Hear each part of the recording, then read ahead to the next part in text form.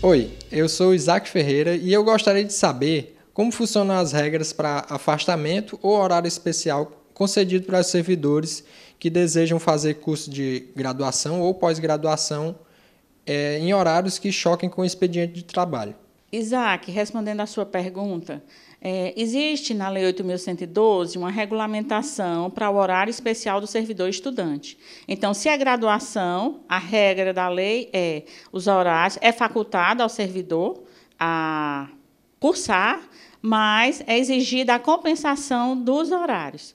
Já para os casos de mestrado e doutorado, tem uma regulamentação recente do Ministério do Planejamento que admite uma forma de afastamento parcial, se o seu mestrado ou doutorado for realizado na cidade em que você tem lotação. Essas regras elas estão para ser aprovadas de uma forma conjunta numa nova resolução do Consune que já a minuta já está em fase de estudo. Olá, meu nome é Valdênio Vieira. Eu tenho uma dúvida quanto à nova legislação de licença paternidade. Eu queria saber quantos dias são e se tem direito também o pai que adota uma criança. Oi, Valdênia, com relação à sua dúvida, você pode dar entrada na solicitação da licença paternidade e da prorrogação da licença paternidade por processo administrativo, tanto na Central de Relacionamento PROGEP, como no seu próprio departamento, com a documentação que é descrita no próprio formulário, já disponível no site da PROGEP. A licença paternidade, como disciplina 8.112 e o novo decreto, é válido tanto nos casos de nascimento como de adoção, lembrando que a licença paternidade é de cinco dias e a prorrogação por mais 15 dias, se requerida até o segundo dia útil após o nascimento ou adoção. Oi, eu sou Luciana Albuquerque e eu tenho uma dúvida. Queria saber sobre o arquivo geral da UFC. É, ele existe? Como eu faço para enviar os arquivos que já estão em excesso aqui no setor para lá? Oi, Luciana. Primeiramente, eu queria informar para você que nós temos uma comissão de avaliação de documentos.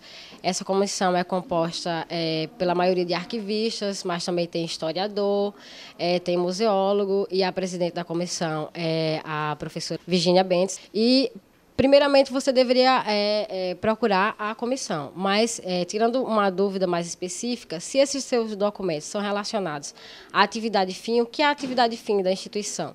São documentos relacionados ao ensino, à pesquisa e extensão.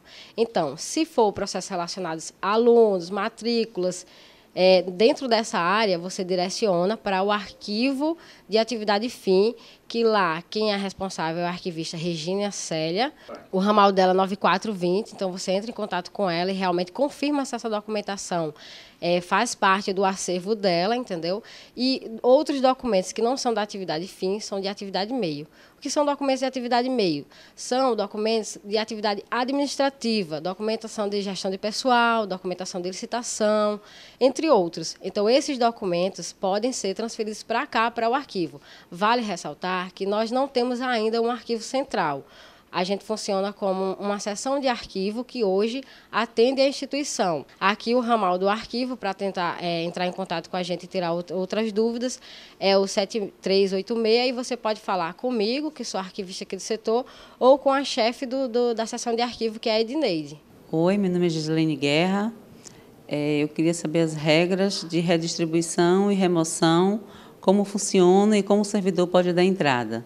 Gislene, respondendo à sua pergunta, nós temos normas específicas para remoção, que estão regulamentadas através de uma portaria interna da UFC, e com relação à redistribuição, você pode trazer o seu requerimento aqui na Progep, se você estiver querendo sair da UFC para uma outra instituição, ou se você quiser ir para uma outra instituição, você deve comparecer nessa universidade ou mandar o seu currículo e a sua demanda para eles analisarem. Depois o processo vem para cá para a gente ver se tem código de vaga como contrapartida e a gente faz o encaminhamento do processo para a, o MEC.